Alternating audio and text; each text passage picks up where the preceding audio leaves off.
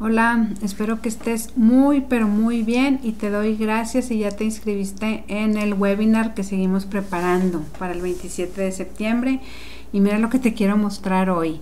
Eh, en alguno de mis videos anteriores les comenté que el primer libro que había creado para ponerlo en Amazon había sido este de rimas, si se acuerdan?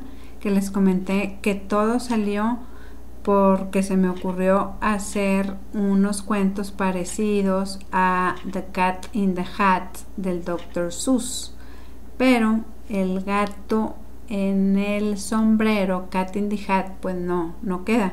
Entonces se me ocurrió hacer de el gato en el zapato y de ahí decidí hacer un libro de colorear para niños donde podamos puedan ver ellos la imagen aquí y aquí tener el, el dibujo para colorear y en este espacio le pusimos una sopa de letras, ¿ok?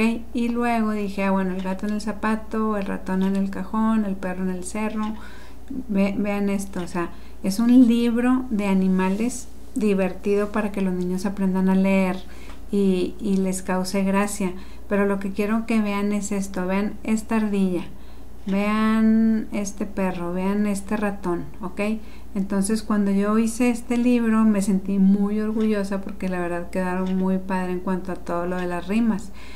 Pero ahorita que estoy eh, preparando el, el, webinar me estoy dando cuenta cómo es increíble cómo ha estado avanzando todo lo que es la inteligencia artificial y unos tips que les voy a dar para que saquen unas imágenes de excelente calidad y es lo que les quiero mostrar hoy y va a ser un video bien cortito, nada más para mostrarles la diferencia. Miren, miren esta vaca en la maca.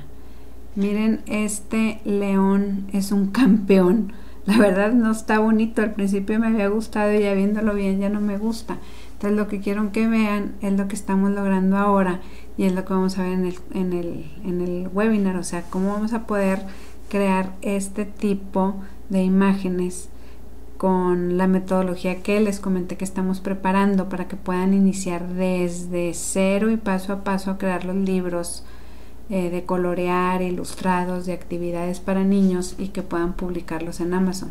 Entonces, vean la diferencia de este tipo de león a este tipo de león. O sea, totalmente diferente. Quiero que, vean el venado en el teclado. ¿Cuál les gusta? Este, este. Todos están bien lindos. Este. ¿sí? vean la calidad de las imágenes. Aquí como había creado una vaca en la maca que ya se las mostré acá está aquí. O sea vean esta maca en la maca y vean la diferencia de esta vaca en la maca. O sea totalmente diferente. Y aquí me está poniendo el león es un campeón esta me encanta y luego vean vean todo lo demás por ejemplo aquí no encontraba algo que me gustara. Este que, viene siendo, a ver, ustedes, ¿sí?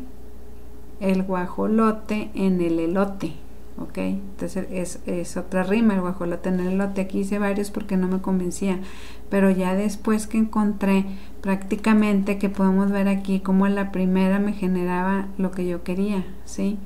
O sea, con, con este prompt que encontré después de prueba y error, prácticamente a la primera me está generando eh, unas imágenes súper lindas. Miren este, por ejemplo, a ver, la rana en la manzana. Créanme que esto para los niños les ayuda muchísimo aprender a leer, porque como ellos ya ven el dibujo, ¿sí? Y ellos ya dicen el chango en el mango y en su mente ya esto se les va quedando grabados. Entonces, esta es una idea de cómo los niños pueden aprender a leer de una manera bien divertida y les aseguro que si desde pequeños empiezan a, a intentar leer, no, es, es, un beneficio que van a tener impresionante y van a sobresalir sobre muchos niños que no están teniendo la, la oportunidad de hacerlo. Entonces, imagínense que ustedes aprendan a crear este tipo de libros para niños. Miren esta qué bonita. Vean la diferencia de esta ardilla en la silla a esta que había creado antes. Sí, aquí la tenemos. Vean la diferencia de esta ardilla en la silla y vean esta ardilla en la silla, ¿sí? La rosa, perdón, la mariposa en la rosa, el delfín en el patín, ¿sí? Y así, así les puedo seguir enseñando todo lo que estaba haciendo. Miren el gato en el zapato, mucho más lindo que el que habíamos sacado antes. Bueno, entonces esto era todo lo que les quería mostrar. Descarguen la guía gratuita que les voy a dejar aquí de los ocho pasos para aprender a crear libros para niños. Regístrese al webinar, también les voy a dejar el enlace y nos vemos pronto denle like a este tipo de videos si les gusta, suscríbanse al canal para que les lleguen las notificaciones porque si no le van a dar like y luego no les van a llegar las notificaciones y van a decir dónde, dónde estaba ese video que me gustó mucho.